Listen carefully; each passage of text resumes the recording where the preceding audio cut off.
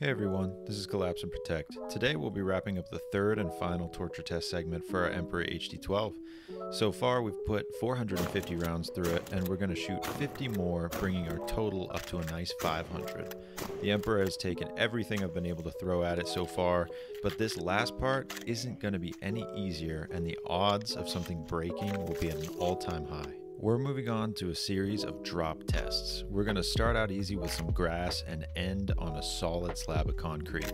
Just a reminder the Emperor hasn't been lubed up since leaving the factory, and a lot of that oil was probably washed off during our test in the spring bed, or with the hose, or worn away with gravel. My point is, she's dry, bone dry.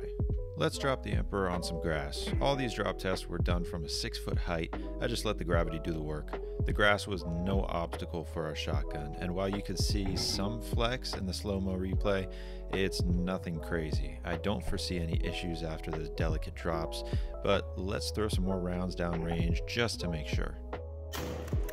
Look at that, it still cycles and shoots, no issues there. Let's move on to something more punishing. Back to the gravel. Gravel still has some give like grass, but lots of individual pressure points that could hit something important hard enough to break it. Let's see how she does. There's a little more flex here than on the grass, but nothing too crazy. Now let's move on to the most unforgiving surface we have, concrete. We're gonna ease into this. Say you lean your HD12 up against something at the range and someone walks past and oops, knocks it over. Will anything break? Surely the plastic parts like the butt stock and pistol grip will give up the ghost. Nah, they don't care. Then I looked at our sights. I wouldn't call this a failure, more of a deformation. The sights are still usable, but they're getting bashed around quite a bit. Alright, now we're really gonna hurt this thing. Six foot drops on concrete.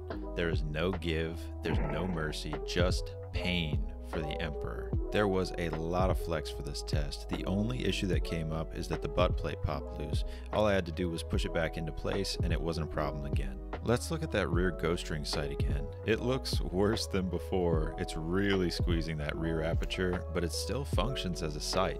This is a non-issue for the Emperor. After a grand total of 100 drops, let's take a look and see if this thing still functions. This is the last one for all the beans. If she can run this, then this is a crazy incredible deal.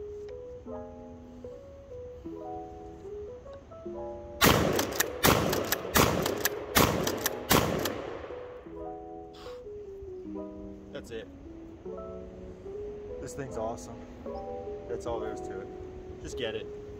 It still runs just fine. So let's finish up our ammo for the day. At this point, the Emperor has eaten a total of 500 rounds of various ammo types without any hiccups.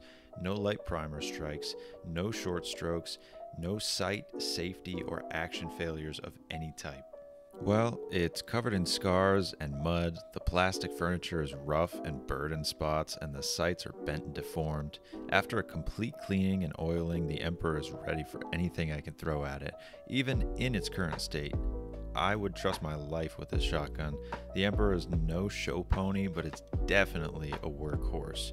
For that, it's earned a spot in my safe.